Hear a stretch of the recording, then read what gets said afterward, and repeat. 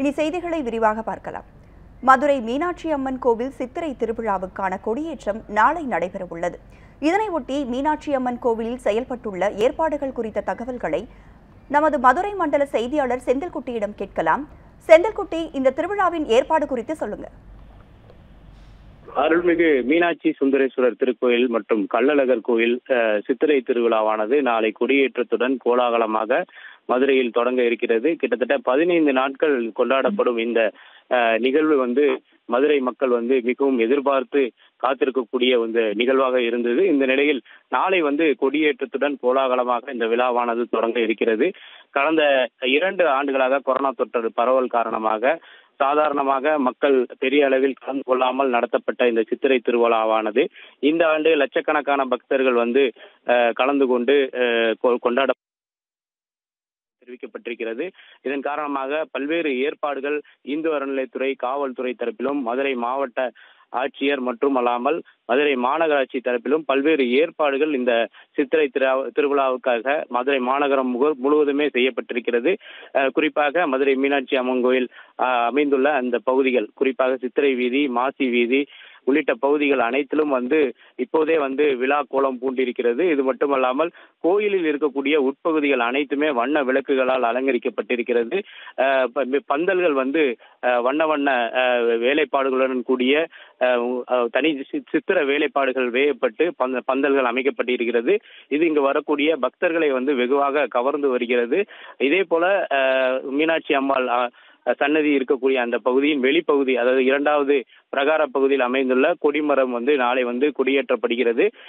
காலை பத்து முப்பது மணி அளவில் இருந்து பதினோரு மணிக்குள்ளாக இந்த கொடியேற்றமானது நடைபெற இருக்கிறது. விழா அதாவது சித்திரை விழா தொடங்குகிறது என்பதை அறிவுறுத்தும் விதமாக இந்த கொடிமரம் கொடிமரத்தில் வந்து மிதுன லக்கணத்தில் கொடியேற்றமானது நடத்தப்படும். இந்த பகுதிகள் அனைத்துமே பூக்களால் அலங்கரிக்கப்பட்டிருக்கிறது. கொடியேற்றம் நடைபெறக்கூடிய அந்த பகுதிகளில் மாசி வீதிகளில் செல்லக்கூடிய சுந்தரேஸ்வரர் மற்றும் மீனாட்சி அம்மாளுடைய அந்த வாகனங்கள் அனைத்துமே வந்து தயார் செய்யப்பட்டு வைக்கப்பட்டிருக்கிறது. இது போன்ற ஏற்பாடுகள் கோயில் உட்பகுதியில் வந்து தற்போது செய்யப்பட்டிருக்கிறது. கொடிமர கொடிமரத்தை பற்றி நாம் முக்கியமாக தெரிந்து கொள்ள வேண்டியது இந்த கொடிமரத்தை வந்து நாம் வந்து வணங்கினால் உள்ளே உள்ளிருக்கக்கூடிய அனைத்து தெய்வங்களையும் வந்து வணங்குவதற்கு ஒரு ஈடான ஒரு விஷயம் என்பதே ஐதீகமாக கருதப்படுகிறது. அத்தகைய கொடிமரத்தில் நாளை வந்து கொடியேற்றம் நடத்தப்பட இருக்கிறது. அந்த பகுதிகள் அனைத்துமே வந்து சுத்தம் செய்யப்பட்டு தற்போது தயார் நிலையில் வைக்கப்பட்டிருக்கிறது.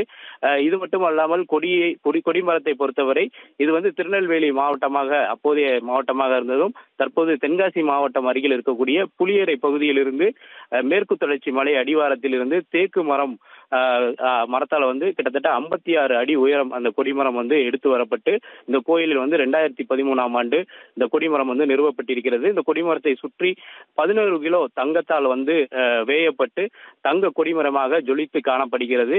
இந்த பகுதியில் வந்து கொடிமரம் நாளை வந்து கொடியேற்றம் நடத்தப்பட்டு பக்தர்கள் அனைவரும் இந்த கொடியேற்ற நிகழ்வில் வந்து ஆயிரக்கணக்கான பக்தர்கள் பொதுமக்கள் வந்து மதுரையிலிருந்து கலந்து கொள்வார்கள் என்று எதிர்பார்க்கப்படுகிறது.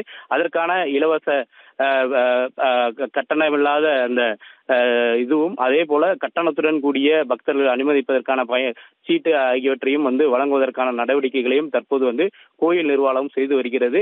பக்தர்கள் வரிசையாக செல்வதற்காகவும் காவல்துறை வந்து கூட்ட நெரிசலின் போது அந்த அசவ அசம்பாவிதங்கள் நடைபெறாத வண்ணம் காவல்துறை பாதுகாப்பும் தற்போது வந்து மதுரை மீனாட்சி அம்மன் கோயில் மற்றும் மதுரையில் இருக்கக்கூடிய முக்கிய பகுதிகளிலும் செய்யப்பட்டிருக்கிறது. மதுரை மீனாட்சி அம்மன் கோவில் சித்திரை திருவிழாவுக்கான கொடியேற்றம் நாளை நடைபெறவுள்ள நிலையில் மீனாட்சி அம்மன் கோவிலில் செய்யப்பட்டுள்ள ஏற்பாடுகள் தொடர்பான விவரங்களுக்கு நன்றி செந்தில்குட்டி.